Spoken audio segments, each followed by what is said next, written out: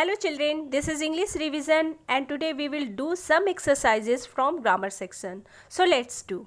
It's collective noun.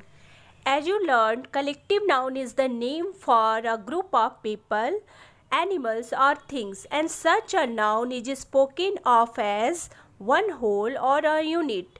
For example, bunch, herd, team, school, class, etc. Here in this exercise, you have to complete the sentences using these collective nouns. In first sentence, the correct collective noun will be choir because it is the group name of singers. Now, exercise F. In this exercise, you have to fill in the blanks with much or many. Children, as you know, we use the word much with uncountable noun and many with countable noun. For example, how does brothers does Margaret have?